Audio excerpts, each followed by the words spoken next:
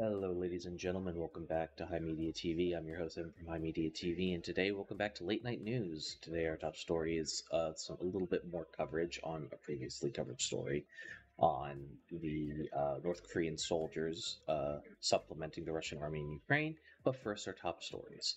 First, three killed and 14 injured in an attack on Turkish aerospace company. And Rudy Giuliani ordered to turn over New York City apartment, as well as 26 watches to Georgia election workers. And now on to our main story. If you want to see coverage of the other stories we covered in this video, check out our YouTube Shorts feed. And if you want to read the articles yourself, the archives are available for our supporters on Discord. You can do so by for as little as a Twitch Prime sub. Now on to our main story. The U.S. says evidence shows North Korea ha- does have troop in Russia for Ukraine war. Now, this there was originally rumors for this, but now it seems to be more confirmed. North Korea has sent 3,000 troops to Russia. The U.S. Defense Secretary says evidence shows North Korean troops are in Russia and very serious if they fight alongside Russia in Ukraine. Moscow and Pyongyang dismissed reports as fake and groundless.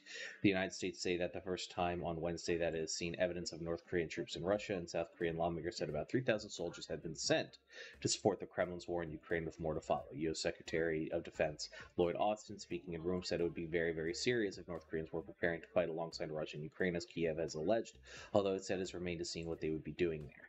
There's evidence to say that the DPRK troops are in Russia. Austin told reporters using North Korea's inform- formal name, the Democratic People's Republic of Korea.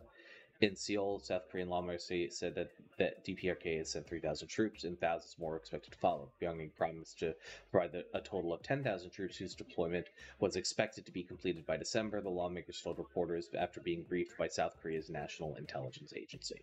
So let's just depack this, unpack this a little bit. One of the big problems that North Korea deals with is, is that despite you know having I think the fifth largest military in the world, and and being a very tiny country, or at least the numbers that they report to the UN are the fifth largest in the world. Um, their their troops generally, outside of cracking down on civil dissent, don't get a lot of combat experience. So God forbid, you know, South Korean troops will do NATO drills and will get, you know, you know, do drills and, you know, in in in in, in faux combat.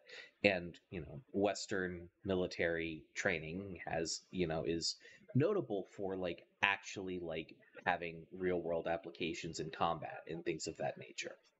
So, you know, a lot of the drills and stuff that you know more authoritarian leaning nations like North Korea, Russia, places like there do are not particularly like they're more for propaganda and for show.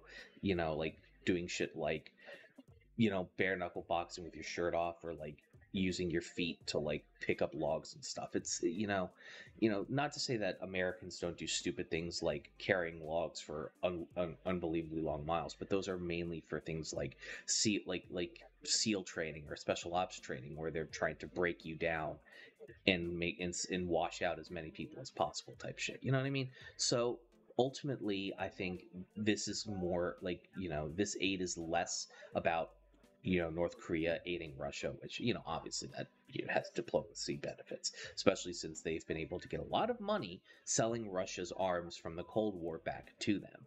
But I also think that this is also a benefit for um, North Korea because their soldiers will get combat experience they otherwise wouldn't have gotten, especially against Western forces. Here's the problem, though: I do not think that these tr- troops are going to be used the same way as like Russian soldiers. I think they the Russian generals are going to take these Korean soldiers and just throw them into the meat grinder and give just to give their Russian counterparts a break. You know, they you know it's they're basically doing what the uh, Allies during World War One wanted to do with the Americans, just like hey, we got some foreign soldiers, like we can send these people into the meat grinder and then we can give like you know we can you know rally some support back home as to like say hey i'm not we're not sending your sons to go die immediately. So i think ultimately kim jong-un might not necessarily get the uh, results that he wants with this personally. Hey thanks for watching.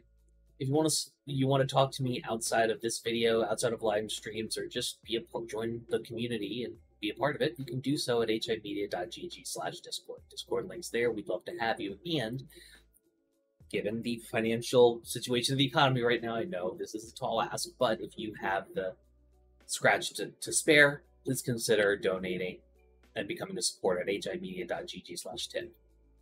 All of our perks are serviced through our Discord channel, including early access videos, exclusive videos, and more. Your generosity is a blessing, and a dollar a month is boon to my mental health. Thank you so very much for watching. I appreciate you, and have a great day.